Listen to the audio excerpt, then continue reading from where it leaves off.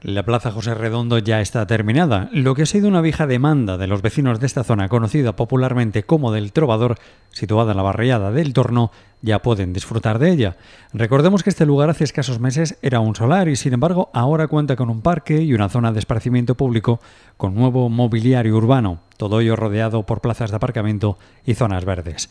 El alcalde de Chiclana, Ernesto Marín, acompañado por varios miembros del gobierno municipal y la presidenta de la Asociación de Vecinos Virgen del Carmen, Ana Bernal, inauguraba la placa que da nombre a la nueva plaza de José Redondo.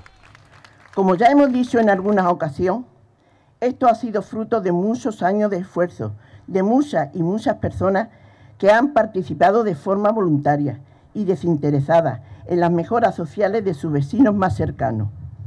Queremos dar las gracias a todas aquellas entidades y personas que lo han hecho posible. En correspondencia a este esfuerzo, debemos todos respetar lo que es de todo. Debemos cuidarlo, valorarlo y asegurarnos que podrá disfrutarlo aquello que un día vendrá detrás de nosotros.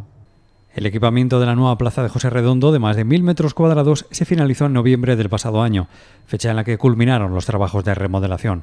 Con un presupuesto de 65.000 euros se ha creado un circuito urbano con zona de esparcimiento público, con árboles y plantas. Es la culminación de algo que hicieron antes otros que nosotros, y nosotros lo continuamos. Por eso yo creo que ha dicho una cosa también muy importante, hagamos barrios. Yo creo que los barrios son los que componen la verdadera fuerza de la ciudad. Las asociaciones de vecinos, las federaciones de vecinos, las barriadas, son las que realmente mueven a la gente. Y como siempre he dicho, detrás de todo eso siempre hay personas. Además, se ha ordenado la zona de aparcamiento situada en uno de los extremos de la plaza y se ha mejorado el acceso al colegio El Trovador.